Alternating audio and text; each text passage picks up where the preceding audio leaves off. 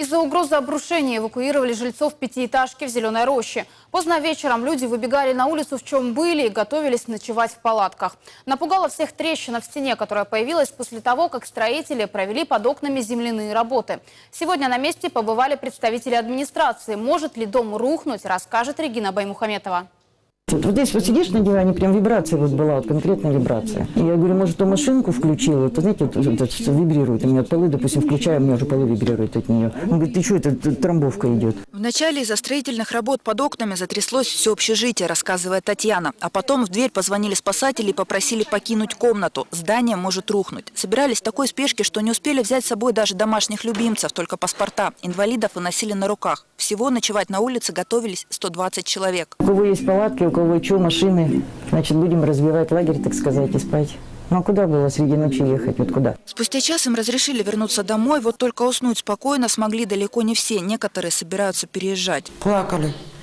Страшно было за ребенка. Здесь оставаться уже смысла нет, потому что если такая вот ситуация, ну, будем что-то придумывать. Хватать документы ребенка, да, и бежать куда-то. Началась паника из-за этой трещины. Кто-то заметил ее и позвонил в диспетчерскую службу. Сегодня дом обследует представитель администрации вместе со строительным экспертом. Людей пытаются успокоить, опасности нет. Говорить о том, что здесь возникла какая-то аварийная ситуация, которая может привести к обрушению к человеческим жертвам, я не могу. Это не трещины, это раскрытие межпанельных швов. Правда, чтобы понять весь масштаб проблемы, проверять нужно не только подъезд, но и подвал. Если там стоит вода, это могло способствовать деформации. Но попасть внутрь не могут. Управляющая компания представителю администрации ключи не дает. Есть технический участок, кто занимается обслуживанием этого дома, они комментарии мне не дают.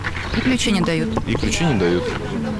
Складывается ощущение, что там вода в подвале. Возможно, там вода в подвале. Но когда строительный эксперт уезжает и на месте остаются только журналисты, представитель УК заявляет, по закону посторонних людей, не специалистов пустить внутрь не могут. Но заверяет, подвалы регулярно просушивают и межпанельные швы проверяют. Согласно акту весеннего осмотра, межпанельные швы в этом доме ремонта не требуют. Конструктивные элементы в порядке, здание пригодно для жилья и безопасно для жилья. Почему дом все-таки начал трещать по швам, ни у кого сомнений нет. Толчок к разрушениям в любом случае дали земляные работы. Сегодня на площадке, где работал каток, никого из строителей уже нет. Возле объекта нет информационного стенда, где было бы указано, кто и что здесь строит.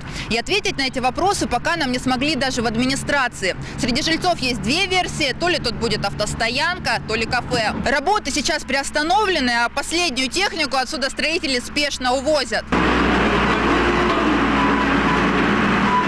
Вся эта история напоминает сюжет художественного фильма «Дурак», пока очень отдаленно. В фильме чиновники не торопились спасать людей из аварийного общежития. В реальности и оперативные службы быстро приехали, и угрозы обрушения все-таки нет. Ситуация, уверяют, под контролем. На межпанельные швы поставили специальные маячки. Каждую неделю обещают проверять, не пойдет ли трещина дальше. Регина Баймухаметова, Павел Ваницкий, Седьмой канал.